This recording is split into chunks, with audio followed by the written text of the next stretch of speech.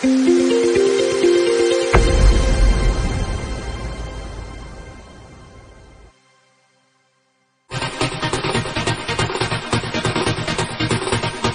morning, good afternoon, or good evening for those who are joining us uh, from far away.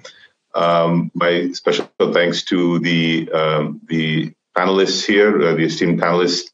Uh, we have a few folks from uh, from India, but also from Singapore and Malaysia. So, to my Singapore, Malaysia friends, uh, good afternoon.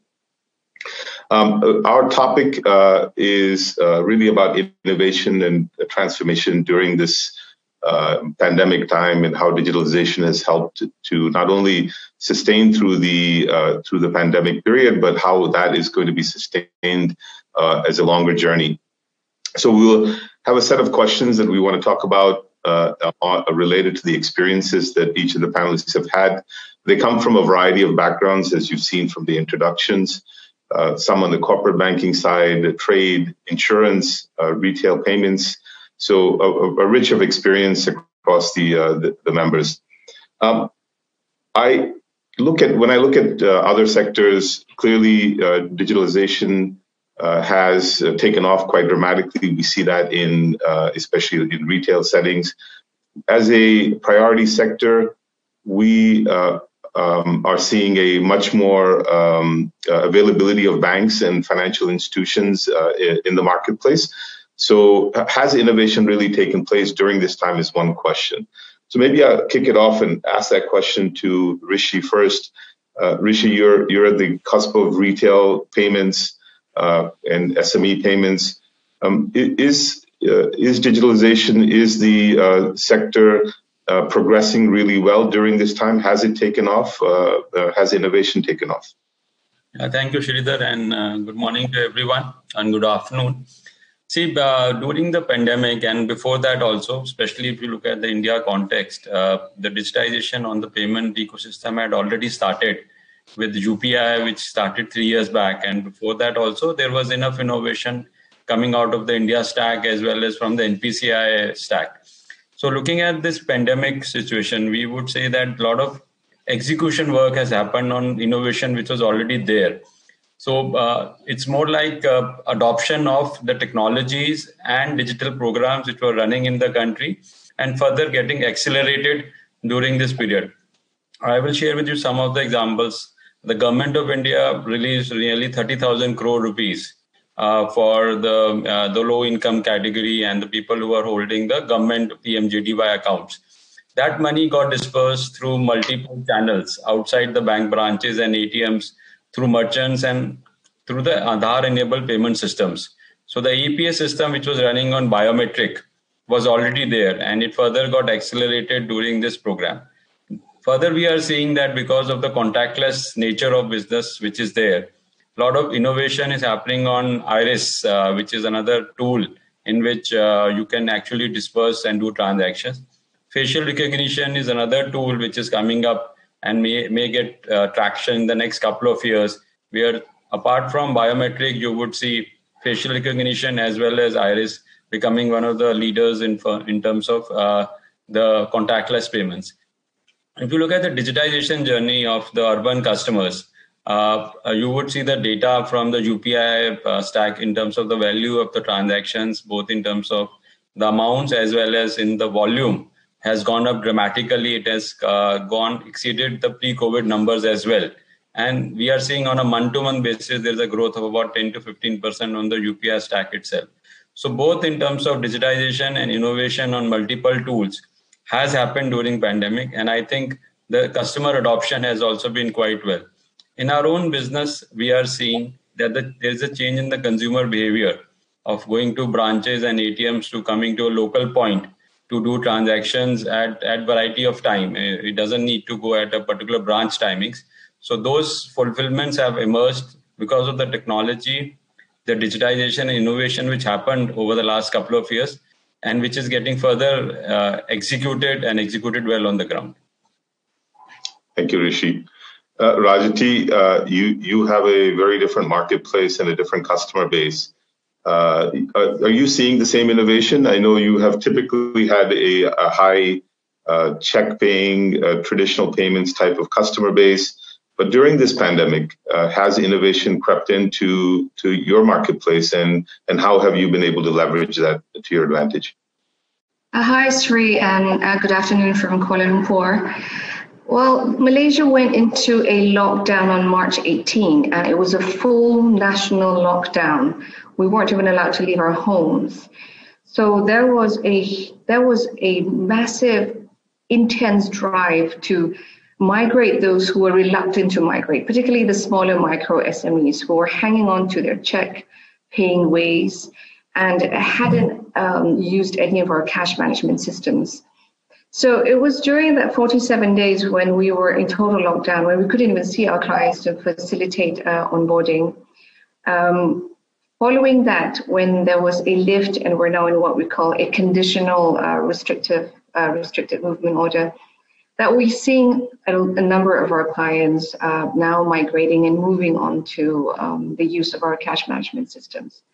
So it has been for us. There was two things. If, if I can just take one step back, it was also organizational in the bank itself, because you know when when they announced the lockdown, the first thing we had to do was to enable everybody to work from home, and to automatically do that over a weekend over 10,000 people was quite a feat. We, I mean, we had BCPs. I'm sure you guys have that too, but never in the scale, right? Like suddenly everyone's got to work from home.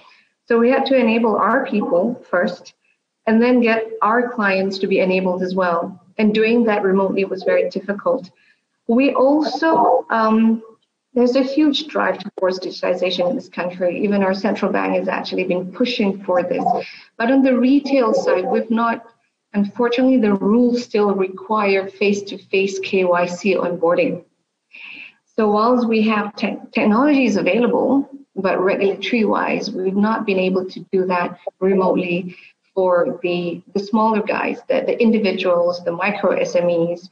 So that has been a challenge and is still a challenge today. And what what has come out of this is then conversations has taken a different turn with our regulators as well to push um, allowing us to do totally 100% you know remote KYC.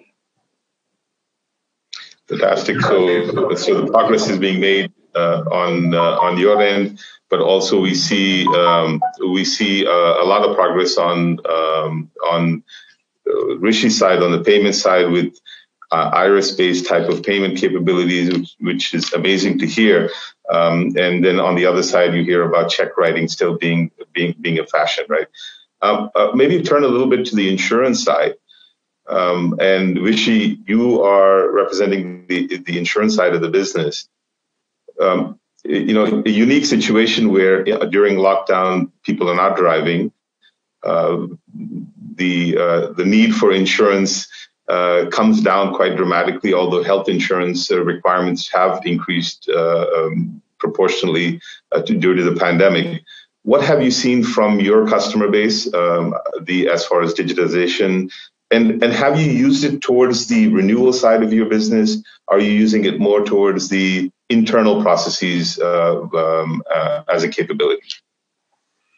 Well, uh, Sri, uh, it's been now 246 days, I think, since since lockdown was imposed in India, and now we are in an unreal world of lockdown there, not there.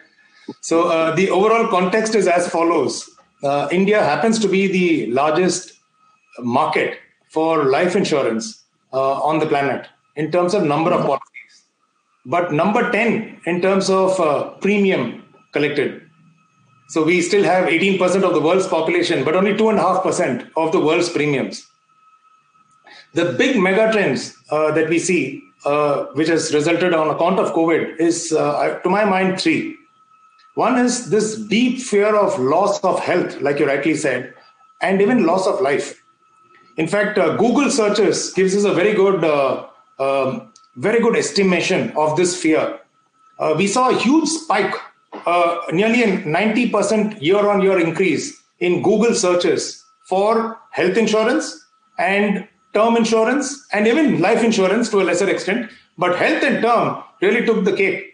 And this search for protection uh, is very interesting because while India was spiking, rest of Asia, including uh, Rajati, Malaysia, was actually going down. There was a degrowth. So it only tells me that Indians probably love their families more or are more fearful of uh, what could happen to their health and life. And they were rushing. And we had a flood of protection policies. Hmm. So, uh, so that was uh, very interesting. So, uh, for the first six months, from April till September of this financial year, we noticed that uh, the private sector, which is about half the premiums uh, in the country, the private sector in life insurance showed a minus 11% growth, but sum assured, the protection company, the sum assured has actually gone up by 16%.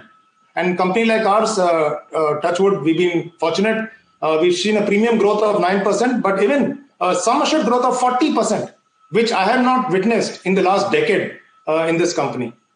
The second big trend is this fear of loss of financial capital and investment returns.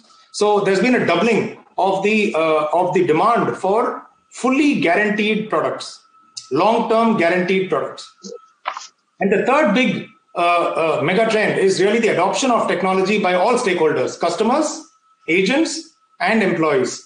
So, customers, we've just flooded all our all our ideas of uh, do-it-yourself tools, your retirement calculators, your real value sum assured calculators, chatbots, webinar participations have all gone multifold. I think India just leap forth maybe five, seven years down the line.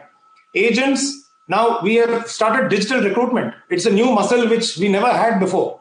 So uh, we always thought that recruiting for a variable agency requires this face-to-face meeting, cajoling, contact, training, onboarding, motivation in person, and for which we have built 322 offices, brick and mortar offices across the country. But when they were all shut down, we realized that actually we've been able to grow our year-on-year agent recruitment through digital means and digital webinars and tap into new segments which were not available before. Training has moved to learning on demand instead of being in a classroom. And similarly, our employees have now, uh, uh, many of them, at least in support functions, have moved to work from home.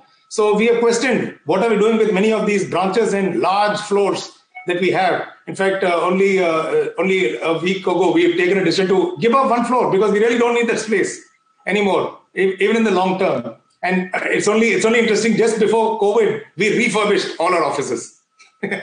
so uh, summary summary is uh, focusing on providing protection and guarantees and all-round digitalization, which has improved effectiveness as well as efficiency. And so margin profiles of life insurers have actually increased during such time. But in our business, uh, very similar to banking, when you increase your margins, your returns go up, but your risk also goes up. So managing mortality and investment risk, risk has come to the fore. Thank you. Very good. Thanks, Vishy. Uh, you know, I, am I'm, I'm laughing because when you talked about refurbishing uh, a brand new floor, I'm sitting in a brand new office, and I think I'm employee number five who's actually sat in this uh, in this premises. So uh, I, I, understand the, uh, the, the, the dilemma and and uh, why even refurbished space can be given up. maybe turn a little bit to to Shiv Kumar. Shiv, um, you deal with very large client base in the region. Uh, you're out of Singapore. Uh, I'd be curious to understand what your customers are doing because they often are at the cusp of wanting to innovate and, and push for or demand uh, for uh, greater accessibility, uh, different types of uh, um, technologies, etc. What's happening in your customer base, and how have they been pushing innovation? Yeah, um, uh, thanks, Sridhar. And I think not it is not too different from from what other panelists have spoken, but it's slightly different context in the sense that you know, unlike unlike what uh, Rishi and Vishya mentioned, we deal in at least in the Asia Pacific context out of the Singapore office largely with uh, large corporates and financial institutions. We don't do retail banking in this part of the world, even though our parent company in the UK uh, does is a, is a big retail banking engine. So I can draw some some retail experiences from the Western world as well later in, later in the panel. But from the Singapore context, you're right. We predominantly deal with large multinational or Asia Pac corporates and financial institutions. So for them, the challenges have been slightly different. Unlike unlike retail clients, their their, their need to physically visit branches anyway is lower. That even historically, large multinational corporates and financial institutions, when they do corporate banking or wholesale banking or investment banking, their need to visit branches is not as intense as for retail customers. So a lot of their payment files or letters of credit applications were anyway having online. But those trends have accelerated. I mean, the first thing we saw the minute Singapore went into lockdown in early April, and in fact, some multinational companies started doing split teams and work from homes a couple of weeks before the government imposed uh, lockdowns is this uh, quick move to digital signatures and and uh, digital authentication. So in some cases where they would have a courier boy do the runs of transporting bills of lading, insurance certificates, or uh, physical copies of security documents back and forth between the bank office and their back office, um, they quickly wanted approvals to send uh, digital e-enabled uh, security documentation. I think that was the first innovation we saw, and and I think that is where even internally it was like a refreshing, uh, like like a breath of fresh air. That usually internal approvals for such risk acceptances or change in procedures in the in the pre-COVID would have taken a few weeks, but given the circumstances we were in, a lot of processes internally also changed and adapted to react very quickly to, to these demands. So online um, uh, exchange of documents, which earlier the mindset was that these things can only be done uh, physically, that has changed uh, very drastically. And the other other big complication was just like us, even the clients were working from home. When I say clients in our context, these are large corporates. So if the authorized signatory is working, uh, two authorized signatories need to sign something. One is working remotely from one part of Singapore, one is working remotely from the from his home in another part of Singapore. You know, the old uh, process that we're all used to, you know, somebody signs a document, it goes to the next cabin and the other signatory signs, all those things are not possible. Where, where big sums of money is in excess of millions sometimes need two authorizers or two signatories uh, to quickly adopt to online digital uh, verification of signatures. Um, that was that was I think the first move. And the second thing, also from a risk management perspective, their priorities suddenly changed. So if you are a large multinational corporate operate, operating in 10 different countries across Asia Pacific, and they are our client, for them immediately they had suddenly to deal with a circumstance where different employees and different suppliers or different factories in different countries were going through a different phase. You know, their factory in India was operating, but their factory in China had been shut down because of COVID, because China was ahead uh, a few months. But their factories in Europe were still operating because Europe came into the COVID situation two months after Asia. So they had to deal with um, these emergencies of suddenly shifting supply chains, shifting sourcing from one factory which has been in a country with lockdown to try to see how much of their procurement they can shift from another supplier in a different country which has not yet gone into lockdown. And as bankers, we had to quickly adopt uh, in terms of making sure that they are able to place orders, make payments to a different supplier than what they were used to, or they are selling to a different market or via a different market because ports had shut down. Customs officers were working from home, so importers and exporters couldn't clear their goods.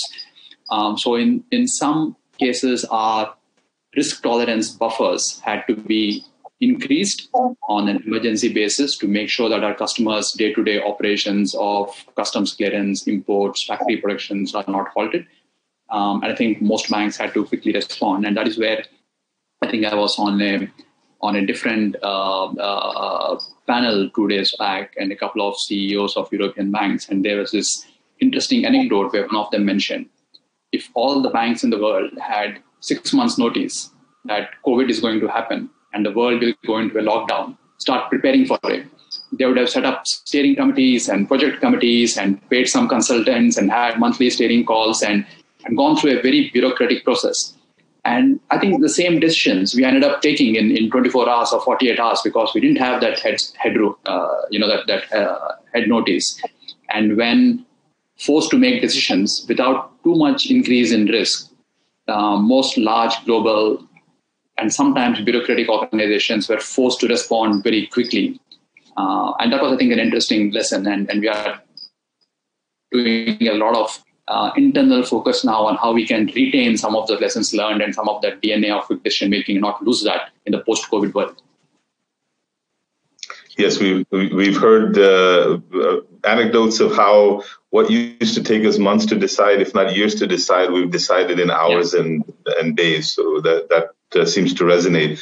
Uh, Rajati, is that similar for you in, in AmBank as well? And um, following up to that uh, question, um, you you have a career of working with fintechs uh, across um, um, uh, the Malaysia portfolio.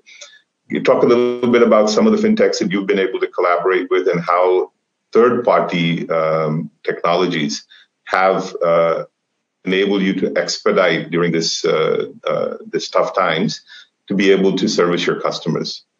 Rajati? Okay. Following from what Shiv said, you know, we we're all. Um, I, I don't know any bank that is not bureaucratic.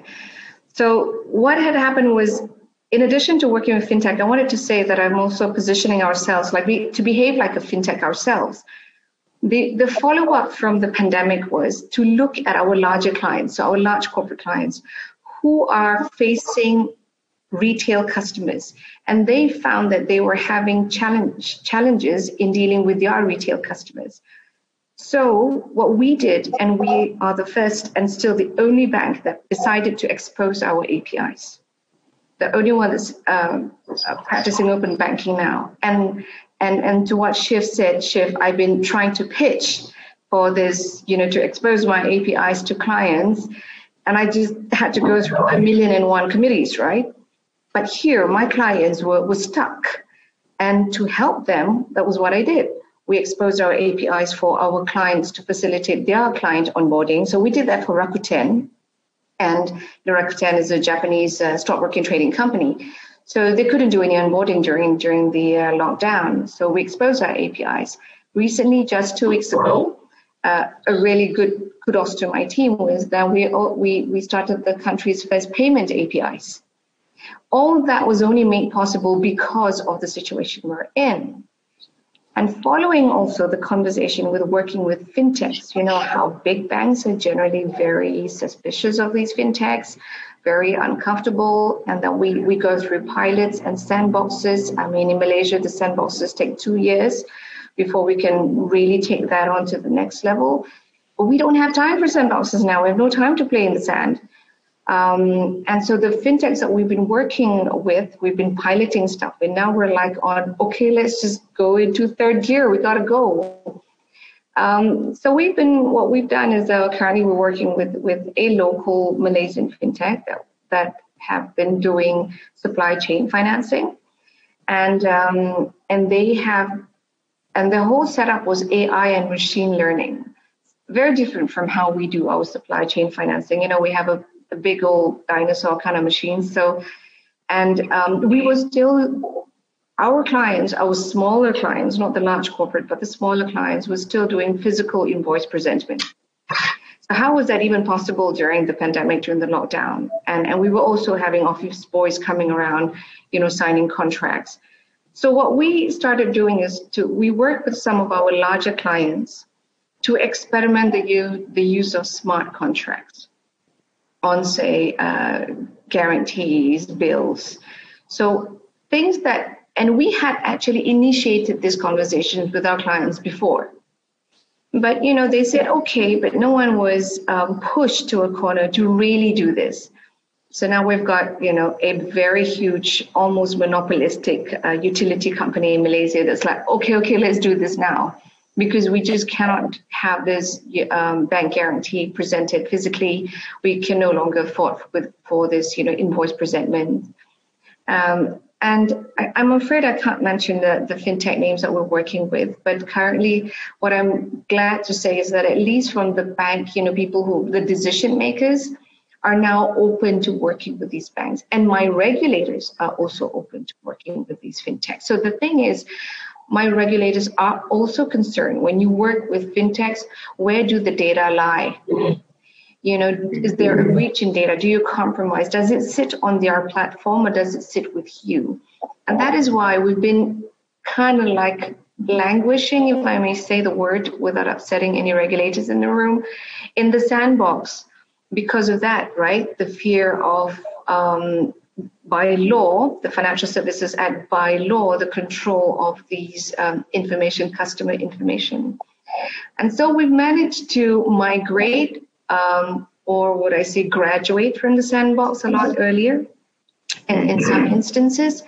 and actually started to commercialize. So right now, as we speak, I'm now um, running about piloting with five clients on a supply chain financing using a, a, a fintech platform with machine learning. Machine learning makes uh, regulators very nervous because they mm. fear that you know what happens, what goes in may not be what comes out, and that the machine learning itself, the machine itself becomes a black box. So that is the fear. They always question, is this auditable? So now what we're saying to the regulators, look, we have no choice you know, trade has come down significantly. And the only way that we really want to try to push back the economy up is to facilitate trade. Malaysia's GDP fell minus 17% in the second quarter this year, and that was that is worse than during the Asian financial crisis of minus 11%. So now, with all these things that we're doing, we're seeing uh, we're seeing a rebound particularly in our rubber gloves and our palm oil, you know, there's a, there's a rebound. But largely also the way we do things. Uh, we, I can say, in the last six months, we've cut um, physical invoice presentment, bills presentment by half. Those who were still doing it physically, yeah, so are now already uh, by half. Those larger corporates, um, you know, whom whom we were talking about working with uh, previously on smart contracts, now say we're doing this. Let's get this done. So i'm hopeful we're not quite there yet but i'm hopeful in a year from now if we're if we're having this conversation again i can tell you that you know our smart contracts are up and running that we could use distributed ledger technology. The thing is we're not technology is not wanting it's there. We can plug in it is whether or not both ourselves and our clients are willing to try something else and whether the regulators would also, you know, extend that leash a little bit to allow us to do things differently than how we used to do before. Thank you, uh, uh, Rishi. I, you know the sense of urgency. I, knowing you, you you always have the sense of urgency. Um, I know that your uh, client base has uh, dramatically increased, and the overall uh, payments digital payments has increased. Do you see that continuing, uh, Rishi? Is is that something that just as Rajati has talked about, uh, you know, there is no other choice, and and clients need to get back into business, and are resorting to uh, the the tools and the capabilities that you're providing. Is that happening in your retail customer base, base but more importantly, in your uh, MSME market base? Is that something that you're you're uh, seeing and, and hope to continue uh, with the marketplace? Absolutely. Uh, uh, we see that during the COVID, uh, there was a lot of migration for people to move to local shops and local network, including digital tools, to start doing it for transaction purpose. And there was no choice, as Rajati also mentioned, that people had were compelled to move to a different alternate channel for doing business because the branches were not running, the ATMs were practically out of money. So from that point of view, once the start, customer started going to alternate channels, in urban we saw people moving to digital channels, in rural we saw people moving to merchant channels, and during that practice, and people started to trust those channels more. The the bigger issue with consumer moving to an alternate channel is the trust. One bad experience on a digital transactions, and then no face-to-face interactions with a lot of these fintech companies large, largely working through uh, some kind of a call center or some some some way through mobile applications. People are wary of doing transactions but when people had no choice they had to adopt to this system and they adopted quite well both on the merchant side as well as on the uh, uh, mobile side. So what i see is that there is a change of behavior and i believe anything which persists for more than 6 months or so it, it, it converts into permanent change. Anything which is for a few months, people go back. Like we saw in demonetization, the digitization went up. And for some people, it again came down because the impact was only for two, three months.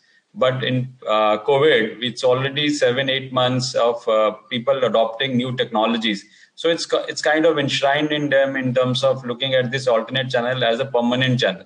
So I don't expect the consumer to go back obviously there will be people who will who will feel that let's just go back to the old traditional way of doing business. But largely i would say uh, the wave has already started. It's more of a permanent change and people will move to this channel permanently. As far as the msmes and smes are concerned we provide uh, cash management services to a lot of NBFCs, MFIs, a lot of small and medium enterprises across the country because of our far reach across the country. 95% uh, of the districts in the country having more than half a million points. We become a natural channel for a lot of people to collect cash. And rural, you understand, is a cash-based uh, business. So because of the pandemic, people were not able to move around their own employees and they were not able to collect money from the customer. Even customers were wary of meeting in groups and uh, giving out money.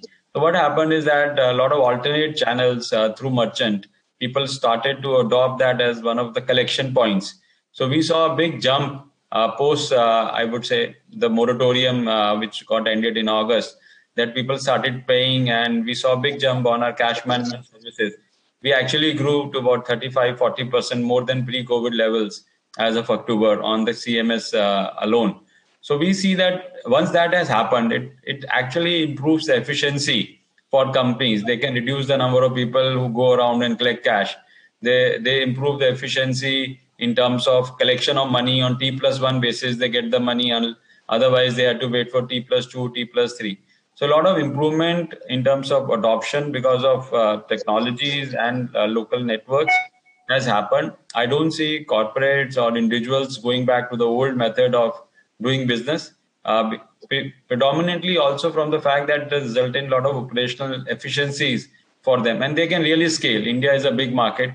If you can really scale by variabilizing the cost, I think that has been a big, uh, big, big, big change. Uh, I would say two big changes uh, when I look at this uh, post-COVID world variabilization of cost. If you look at any fintech, any companies, you hear from them about 30 to 40 percent cost reduction has happened in there. And secondly, virtualization. So variabilization and virtualization are two big events which has happened. Even customers have adopted to it. Customers are also getting used to going to a different place to do transactions and different tools to do transactions. And that has actually reduced the cost and can help the companies to scale much faster and much bigger. So I think COVID for us has been beneficial. We have actually gained from COVID if I look if from a business point of view, if I look at it. But otherwise, also going forward, I think both from a consumer as from a corporate or SME point of view, I think COVID has changed the behavior of a customer and the outlook of a customer to do business. And I think that would be, remain a more permanent change. And I don't see that going back anytime soon. Thank you. Uh, uh, uh, if I can turn to you, you have uh, typically insurance has a large frontline team. Distribution models are uh, um, heavily uh, workforce based. Has the frontline adoption changed in, in, during this time?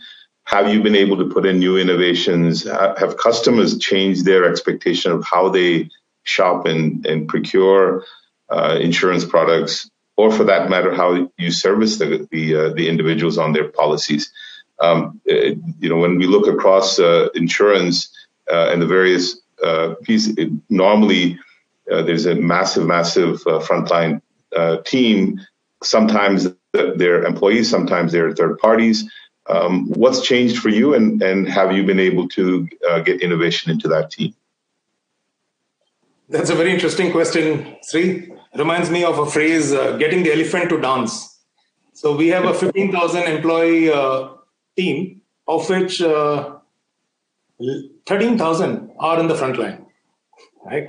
And uh, so they are away, away and uh, in their own beat. And we, are, we have a situation where we had a situation where 100% of our traditional sales done by these uh, by these 13,000 people were face-to-face selling of course, uh, we are a leading player in uh, e-commerce and online selling, but in terms of premium, it's only about 5-6%, while in number of policies, it might be 15-18%.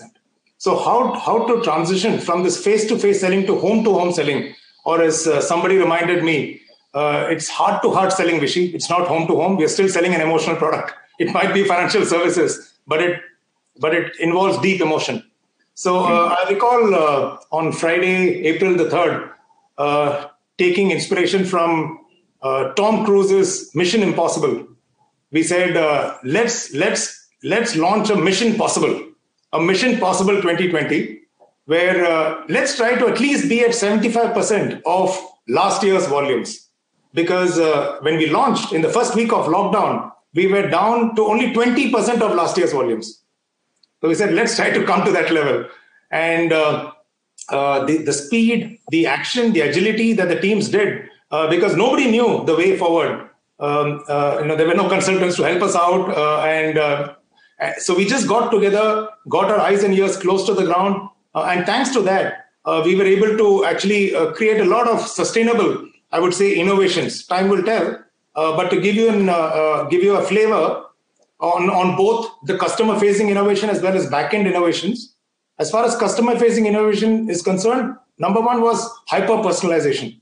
So uh, never ask again uh, for a customer who visits our website. Uh, um, and uh, so, you know, you, you simply continue where you left. Uh, segmented and personalized chase communication. Hyper personalized notifications basis the journey stage in which you left, whether it's a lead or an e-code or initiating payment. And thanks to that, post COVID, uh, from being number two, number three, we've actually become number one in India's online life insurance term market, term marketplace, having a market share of nearly one third uh, in a 24 player market. The, the second big aspect was on uh, B2B, or uh, you know how do we how do we introduce innovation uh, to these large uh, to this large dispersed sales force? we found that the process of onboarding, which was heavily paper based, um, we had some digitalization, but people, when they were face to face, they had paper, they wanted it more convenient uh, rather than adopting digitalization full, full uh, in a, on, a, on, a, on a 100% basis. And just like uh, Rajati said, that is a very interesting journey. Uh, thankfully, the regulator is far more evolved here in India. Uh, so we went completely digital. So we went paperless, uh, signatureless, and even personless in the backend. And so we were, we are now able to issue policies within 30 minutes. Want to move there. of, of the, of the, of the so the moment the customer says yes, everything from the KYC to the underwriting rules to the dedupe engines to the uh, uh, to the policy issuance uh, and the certificate of insurance being available to the customer saying your risk is covered happens within 30 minutes. So that delightful customer experience has motivated the seller who who at least felt that okay, this has resulted in some benefit for me in this whole effort. Uh, customer and recruitment webinars saw a 10x in terms of participation. So that was fantastic to engage with customers who are not coming to our branches anymore, to engage with agent probables, candidates who, who, whom we were able to recruit through webinars. And on the back end, uh, we found that our inbound calls actually doubled uh, because our branch walk-ins actually came down by half. And when the inbound calls doubled and the call centers were shut, we couldn't operate with our call centers, right? Traditionally, what we had done is just increase the number of seats, double it. But this time, what we did was because we didn't have that option, we said everybody's working from home. Let's dish out this work to our mid office teams sitting at their homes. So then we hmm. were forced to have Uberized calling, work from home enabled, 100%. And actually, our productivity, which was 50, 60, 80, about three months back, has touched to pre COVID levels of 100%. So, input tracking, talk time, login hours, background noise reduction, uh, VoIP enabled uh, uh, calls to the agent, uh, to the call centers, uh, rather, the call agent's mobile number, uh, we having control without actually having to sit and stare over somebody's shoulder. That was a big innovation for us. Uh, not only cut cost, but even created that kind of personalization. Because now instead of having a rookie call center executive handle these calls and emails by the way we had experienced tenured on an average nine years tenured employees handling this from their homes. So the level of personalization improved. Our net promoter score from negative in that touch point has moved to high double digits. So we were able to actually cut cost improve customer service and crash tat and uh, lo and behold, we also found that we were able to generate referrals, word of mouth referrals for uh, a cross sell started coming in from this channel, and that was mm. amazing. It's also becoming a uh, becoming a most loved revenue channel within the company now. So this this whole philosophy change of moving from transactions to relationship uh, has really has really helped us uh, not just in the front end but even in the back end. So you really captured the emotional aspect, both from the customer side, but also your agents uh, to get them to be delighted through this whole process as well. So that's fantastic to hear. Rajati, you wanted to make a comment. Uh, you were saying something earlier. Well, I was just extremely jealous. So I was going to say that, you know, I want to move there too. Um, no, yeah, I, I, think for us, uh, it's really not technology. We, we're, we're ready. We're ready to run, you know, for, for us is uh, largely within the regulatory ambit of what we can and cannot do, uh, particularly on the retail side. So Richie, like for us, that, that has been our challenge. We cannot do remote KYC till this very day. We have to do face to face. So that's a challenge for our retail and retail SME. But on our corporate side, you know, I'm also extremely encouraged that our clients are giving us the opportunity to to experiment with stuff that we otherwise would never be able to get people to buy into these things. Yeah, and it's really, I mean, you have a huge market. All of uh, we're in ASEAN, and all of our ASEAN is not even like anywhere near India. Uh, so it's it's challenging for us because we have to function differently in different markets and different levels of uh, regulatory readiness. So yeah, that's it's, it's it's it's still a challenge. Perhaps you should have a regulators share best practices. Who knows what? I, I always wish that they would, you know, Vishy. I really do. Maybe we'll leave that for as a takeaway for the ET team to uh, to to do in the next round. Uh, but but Shiv, uh, we talk a lot about through this whole discussion the, the kind of the tenant is corporate culture within your own institution. Uh, maybe starting with with shiv and then ask each of you to comment. Um, uh, uh, shiv then rishi then Vishy and then lastly rajati. Uh, talk about how the corporate culture is changed during this uh, for your organization uh, clearly, the sense of urgency, time has been fantastic. In, in some ways, also, although the pandemic hasn't been great from an emotional and health perspective for all of us, it, um, it in some ways has driven innovation and digitalization across the firms. But Shiv, uh, what's what's changed, uh, and especially what's changed uh, at your corporate center uh, uh, in London versus what's changed maybe in Singapore and the regions that you're operating from? Um, yeah, I think interesting, interesting uh, questions here. On the corporate culture, you know, I will probably, I think we have all spoken about um, the push and the momentum this this pandemic has given to internal decision making on the if the business case, I mean, the business case for digitalization innovation was always there, in my view. Uh, it has just become more uh, a necessity than uh, a nice to have for, for growing revenues.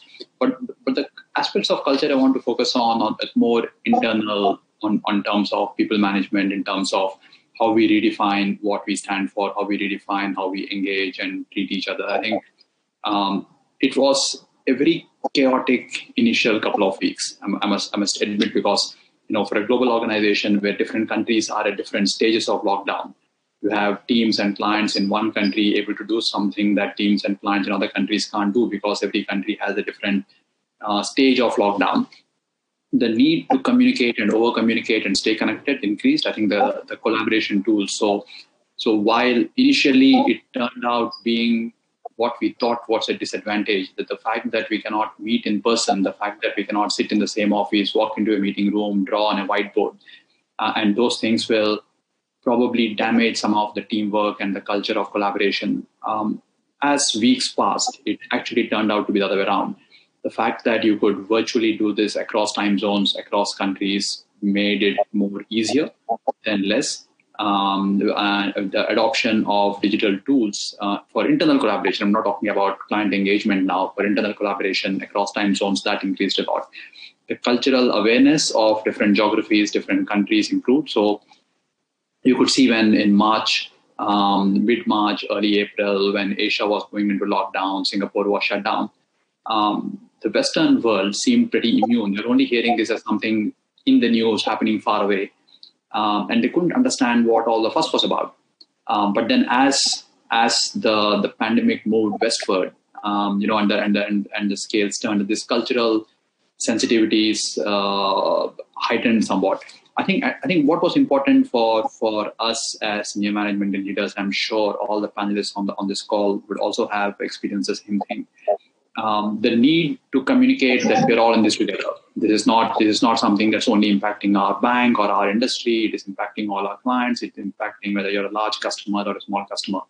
The feeling of um, being in this together and we have to work together to get out of it. I think that transformed some of the cultural aspects. Uh, it also impacted, I would I would say, in our company, from what I've seen, the junior most colleagues from a cultural teamwork perspective a bit more adversely than the more experienced colleagues because um, you know, a new joiner, a fresh graduate or a postgraduate who comes in from university, his first six months or one year, you know, the the the collaboration with seniors, the ability to attend meetings with senior colleagues, the ability to sit and discuss after a meeting or have informal networking teach-ins and, and learn from the experience of seeing how seniors behave in certain situations. That was missing. So just imagine a fresh graduate has just joined uh, a large global organization and within one week everything is locked down and they have to now work from home. So even before you know the, the poor guy has completed his induction, uh, everything is locked down. So this need to significantly redefine what organizational culture meant, how we look out for each other, how teams work together, uh, and this culture of putting clients and putting colleagues ahead of uh, anything else. I think I think that has been a very positive change. Um, in fact, I have got to meet uh, I think ought to at least virtually see and uh, look into you know people's studies and people's houses, um, see their family members, see their kids run into run into their rooms when they're having Zoom calls.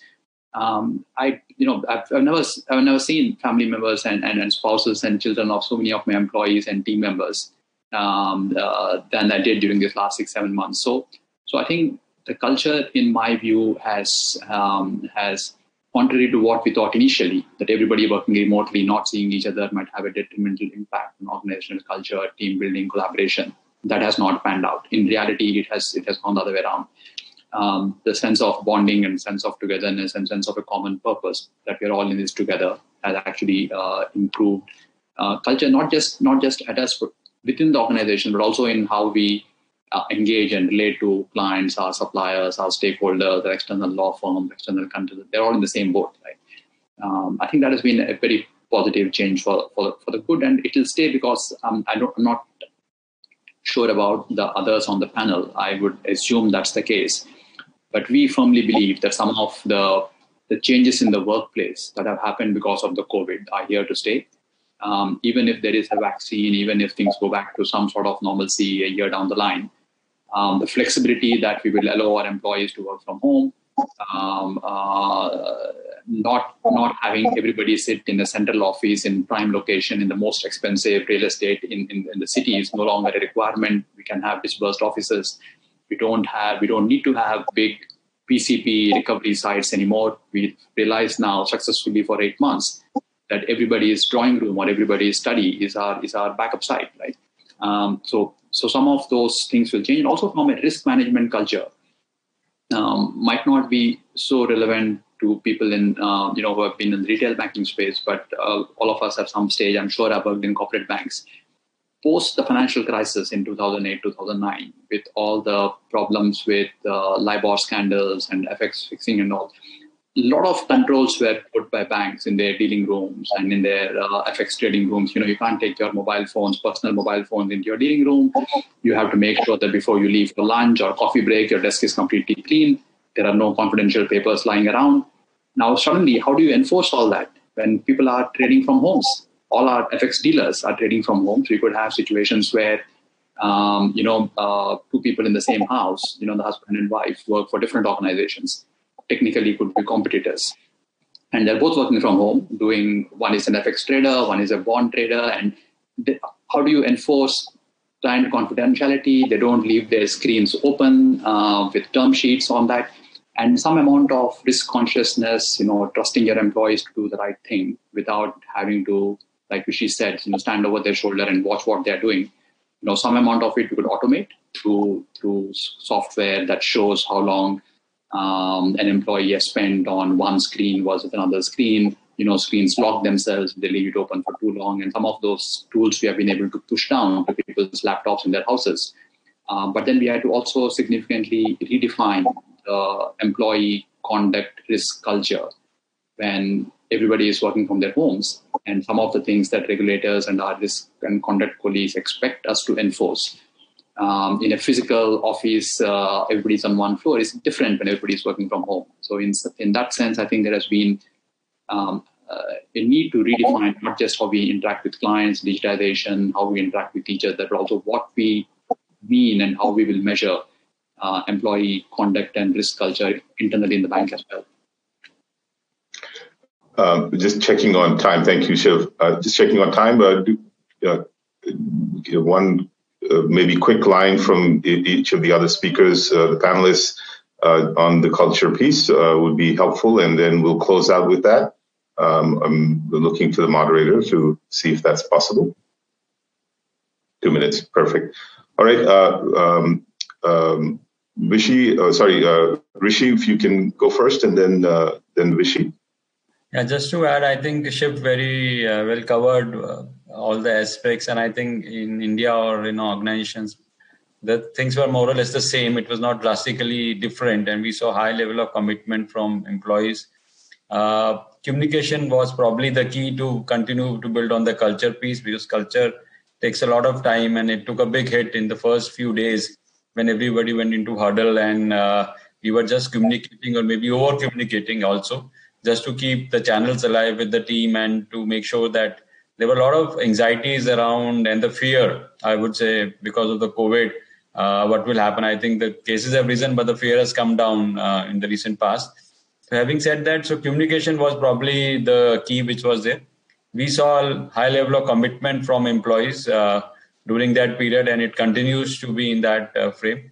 And the productivity actually uh, gained culture specifically from the purpose which is there the organization purpose that was something which we kept on talking in every message of hr and also every message in which i was present. We started to talk more on the emotional connect and the fact that we need to be very very humble during this period. And we need to make sure that uh, the employees uh, empathy piece is taken well care of so that was one area i would say in all the all our communications whether on paper or whether emails or on VCs.